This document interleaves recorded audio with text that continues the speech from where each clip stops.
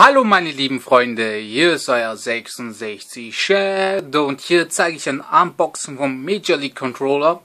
Ja, ich habe es von meinem Games-Laden bekommen und ist auch noch Geschenk.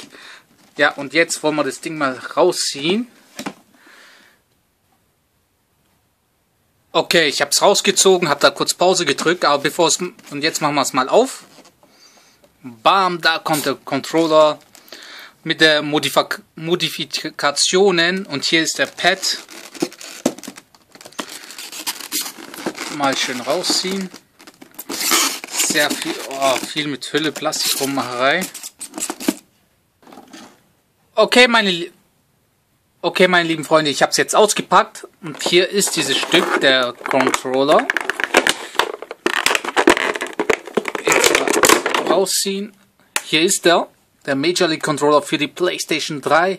Hier sind die Analogstick von PlayStation 3 gerade dran, aber ich kann sie ja schön modifizieren mit Analogsticks von der Xbox, wo ein bisschen anders sind, wo schön nach innen gewölbt sind. Kann auch komplett das Plastikgehäuse hier umändern, kann es auf matt machen. Hinten habe ich hier Gewichte dran die tun wir. Hier ist zum Beispiel ein Gewicht. Kann man den Pad leichter oder schwerer machen, wie es einem gefällt. Eine Tasche habe ich. Hier für meinen Controller. Und hier habe ich auch ein Kabel, weil es Kabel verbunden sein muss mit der Playstation.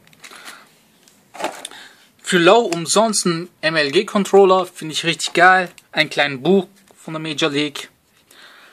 Und dann wird halt damit jetzt gezockt und mal schauen, wie das so ist. Hinten wie bei der Xbox. Und passt, fühlt sich geil an. Mal gucken, wie präzise der Pad ist. Und wird vielleicht ein Review oder Meinung geben bei dem nächsten Video. Das war euer 6 Shadow. Ich wünsche euch noch einen wunderschönen Tag. Ciao, ciao.